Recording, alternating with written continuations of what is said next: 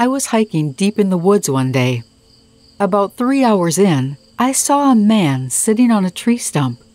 He was wearing a tuxedo, with an axe in his hand, and no camping gear in sight. Kinda makes you wonder.